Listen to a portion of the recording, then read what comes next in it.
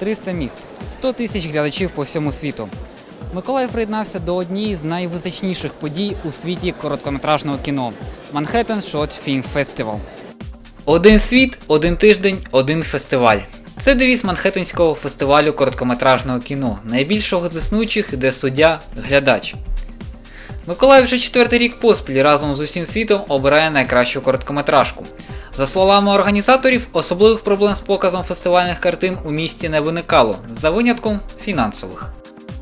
Мы делаем разовый показ, но он бесплатный, и мы это всегда обога- обговариваем с дистрибьютором, они делают нам скидку, возможную скидку. В, эт- в этом году, например, сумма была все равно для нас неподъемной, достаточной, пришлось бросать клич всем с- кинолюбителям, чтобы они, кто мог десяткой, кто, кто там пятидесяткой, на чем-то помогли, чтобы нам хватило на программу, потому что из-за роста доллара программа очень больше, чем в два раза подорожала. Але миколаївці вчасно зреагували і допомогли зібрати потрібну суму.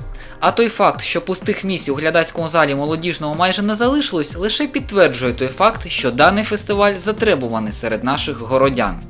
Мы с ребятами обсуждали такой момент, что молодежь и вообще население города истосковалось под, по таким сентиментальным и э, чувственным материалам. Не- не с- это не только связано с кинематографом в целом, с- за эмоциями мы очень сильно скучаем, хорошими, добрыми.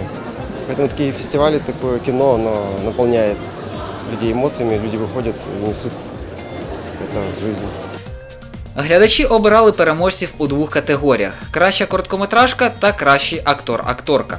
Крім Миколаєва, в Україні цей фестиваль відбувся також у Києві, Одесі, Харкові, Львові, Дніпропетровську та інших містах.